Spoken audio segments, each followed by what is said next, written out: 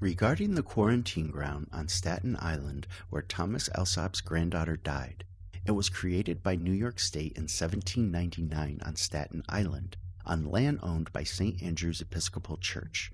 It can be traced back to at least 1802 in the papers as a place where ships quarantined upon arrival to the city and where people sick with pandemic illnesses were kept away from the public.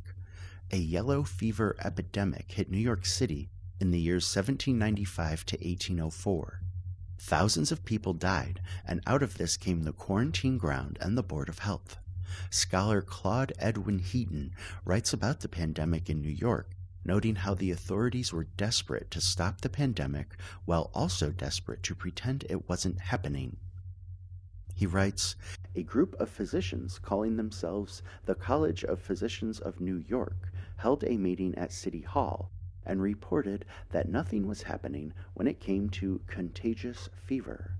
Then the Committee of Health followed along on August 29, 1795, claiming that the disorder was a local malady and the number of sick considerably decreased.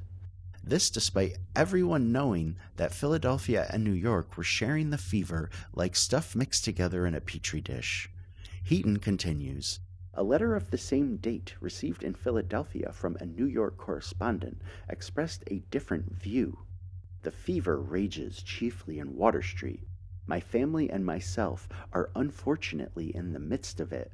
There are buried from our neighborhood eight or ten every night. God only knows what will become of us.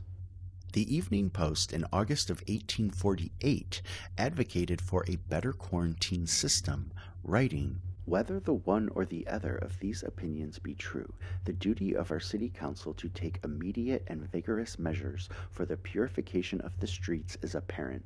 The cleanliness of the city has been by no means remarkable during the season, even for New York, proverbial for her neglected streets, beautiful slattern that she is. It is generally the case that we cannot get our city sweetened during a hot summer without some serious alarm in regard to the public health. And if this good effect shall follow now, we shall not regret that the apprehension has been felt.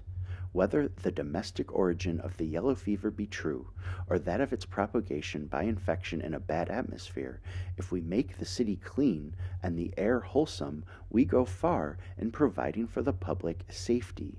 The ordinance of non intercourse which the city authorities have adopted in regard to Staten Island is a most inconvenient one, and it is well to consider whether some other measure might not be substituted for it, which, even on the principles of the contagionists, would guard as effectually against the communication of the disease.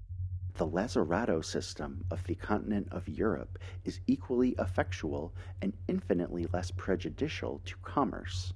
There, large hospitals are set aside for the reception of patients arriving in port sick with diseases reported to be contagious. The persons employed in visiting the ships and bringing the sick to the hospitals have their abode within the walls of the lazaretto, the entrance to which is vigilantly guarded, and all communication with the rest of the city prohibited during the prevalence of the distemper. The pestilence in this manner is confined within the enclosure of the lazaretto, where every medical appliance is used, but the rest of the city is exempt from the disease and suffers no alarm. By the edict of non intercourse which has been adopted, we are attempting to make a great lazaretto of Staten Island, but without success, for there are a thousand indirect ways of getting to the quarantine ground and back again, which cannot be guarded against. Let the hospital only be made the lazaretto, and let the persons who visit the vessels and are employed in situations where the disease may be contracted, or about the persons of the sick, be inmates of the hospital, and live within its enclosure, and you may make your prohibition of communication as complete as you please. If a cessation of intercourse between the city and the hospital will answer the purpose, it is an improper stretch of power to extend the non intercourse to several neighborhoods and villages. We hope that these considerations will be weighed by those who have the ordering of this matter. Measures should be taken which will put the public mind at ease, and the mode which we have suggested seems to us more calculated to remove the causes of alarm than any other.